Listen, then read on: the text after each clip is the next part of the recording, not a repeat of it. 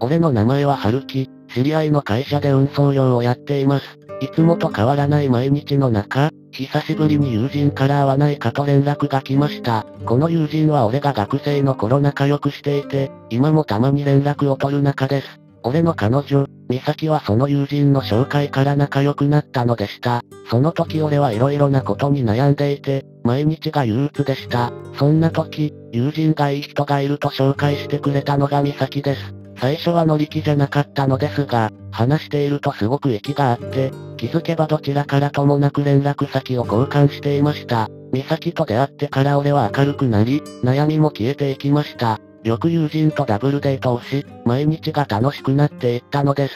そんな美咲とも付き合って数年、時の流れは早いと思いながらも、俺は友人に会うのを楽しみに家へと向かうことにしました。家に着きチャイムを鳴らすといつもの笑顔で俺のことを出迎えてくれました。立ち話も早々に部屋の中に案内され思い出話に花を咲かせました。しばらくしてお酒も回ってきたところで彼女の話になりました。そういえば美咲とは仲良くやってんの？ああ、相変わらず楽しくやってるよ。お前もそうだろ？そっか、よかった。そんな顔してどうしたんだよ？何かあったのか？いやだって美咲、お前の子供を下ろしたんだろ？だから色々大丈夫かなってさ。え？おろしたって？俺聞いてないんだけど。は？あ、あ、ってこと入っちゃいけないやつだったか。悪い、今のなしで。そんなわけにはいかないだろ。おい、ちゃんと説明してくれ。なんと友人から告げられたのは彼女が俺の子を勝手に下ろしたという事実でした。もちろん俺は子供ができたことすら知らされておらず、友人を問い詰めることにしたのです。いや、俺も彼女から聞いただけだから詳しくは知らねえけど、間違いねえよ。ほら、最近1週間くらい帰ってこない時とかあったんじゃないか？その時に下ろしたんだってさ。彼女がそう俺に言ってきたんだよ。確かに。あいつ、少し前に実家に帰るって言って1週間ほど家に帰ってこなかったんだよ。てっきり両親のところにいるもんだと思ってたから連絡もしなかった。あの時か。ま、まあでも本当かどうかわかんねえし、本人に聞く方が早いと思うぜ。だな、明日聞いてみる。本当だったら大変だ。悪い今日はもう寝る。酒って気分でもねえもんな。俺も彼女に聞いとくわ。こうして久しぶりのお泊まり会は最悪な形で終わりを迎えました。翌朝、目を覚ました俺は事実を確認するため家に帰り美咲を問い詰めました。なあお前、俺の子供を下ろしたって本当か？え？いきなり何言ってるの？本当かどうかを聞いているんだ。質問に答えてくれ。嘘をついたらただじゃおかないからな。なんで、知ってるのよ。私あいつにしか言ってないのに。ということは、本当？なんだな、なんで、なんでそんなことしたんだよ？え？っていうこと走らなかったのね。私を騙すなんて最低。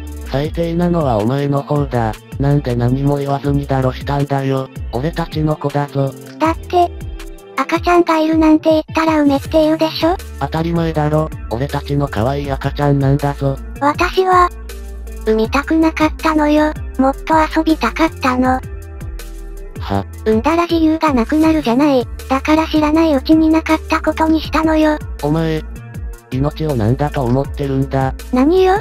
おろしたからって殴ろうとでも言うの？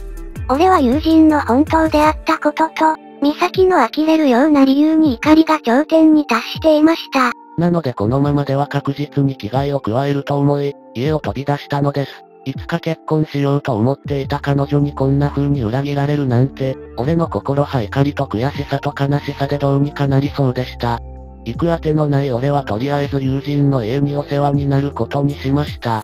するとそこには友人の彼女がいて、事実を話してくれました。彼女が言うには美咲派ホストと浮気していて今も関係を続けているとのことでした。最初は自分のお金で遊んでいたようですが、付けがどんどん溜まっていき、挙句の果てには払えない額まで膨れ上がり、闇金や俺の金にまで手をつけたそうです。ですがそれでも足りず、ホストに紹介された夜の店で働いて今も貢いでいるとのことでした。俺は彼女がそんなことをしているなんて全く知らず、告げられる事実に頭が痛くなりました。そして、子供については、誰の子かわからずもし俺の子供じゃなかったら、今の行動が全てバレると恐れ、知られる前になかったことにしたとのことでした。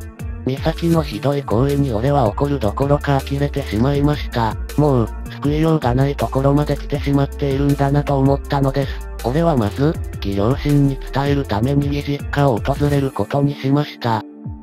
挨拶もほどほどに俺は美咲が子供を下ろしたこととその理由について話しました。もそんな理由で？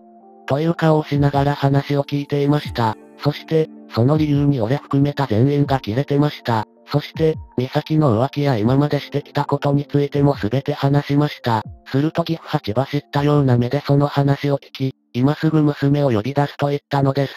呆れている義母と怒りが隠せない岐阜。しばらくして美咲が来ました。するとすぐさま岐阜の土星が部屋中に響き渡ったのです。お前、なんてことをしているんだ。いい加減にしろ。え？な、何を怒っているのお父さん。意味がわからないわ。意味がわからないだと？話は全部春樹くんから聞かせてもらったよ。お前、とんでもないことをしでかしてくれたな。まさか、嘘でしょ。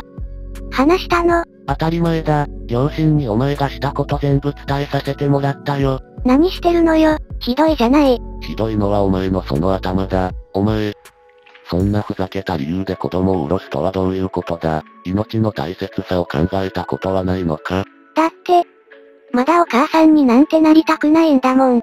じゃあなんで子供を授かるようなことをしたんだ春樹くんにも迷惑かけて。大人になって恥ずかしいとは思わないのかそれは、さらには浮気までしやがって、お前を都会にやった俺の判断が間違っていたんだ。今後一切お前はうちの敷居からは出さないからな。そ、そんなの嫌よ。こんな田舎で暮らしたくなんかない。ダメだ。俺の家の仕事を手伝い。二度とバカな真似はするな。いいな。そう言うと美咲をこれでもかというくらい叩き、部屋の一室に閉じ込めたのです。許してと懇願する声が聞こえましたが岐阜は無視し俺に謝ってきました。この度は娘がすまないことをした。取ったお金は責任を持って返す。それから美咲はあんなに嫌だった田舎生活に逆戻り、今は実家の農業を手伝っているということです。お金に関してはすぐに一括で振り込まれ、謝礼として多めに振り込まれていました。そしてもう一つ、美咲が入れ込んでいたホストの件についてなのですが、実は調べたところ美咲以外にも夜のお店で働かせていた人が大勢いたのです。なんとそのホストは付けを脅しの商売として使い、無理やり夜の店で働かせ、その一部をもらっていたとんでもない犯罪者だったのでした。天罰を与えたかった俺は友人の協力のもと証拠集めに奮闘しました。しばらくして集まった証拠を警察署に提出し、売りをさせているところを現行犯逮捕されたそうです。そのホスト、人気はそこそこあったのですが、犯罪者になったことでお店はクビに、その他の仕事も犯罪者にはさせられないと面接にも次々落ち無職になったそうです。友人がこの間近くでホームレスとなったホストを見たとのこと。その姿は以前の面影はなくやつれているとのことでした。すべてが終わった俺はようやく平穏な日常を取り戻し過ごしています。そしてたまに、生まれてくるはずだった子供のことについて考えるのです。もし次があるなら、もっと大切にしてくれる幸せな家庭に生まれてほしいと。いかがでしたでしょうか？本当に救いようのない人の話でしたね。ですが結局悪いことをした人は天罰が下るようにできているのでしょう。主人公にもいずれ自分を大切にしてくれる人と結婚し、子供を授かれるといいですね。今回の話はここまでです。ご視聴ありがとうございました。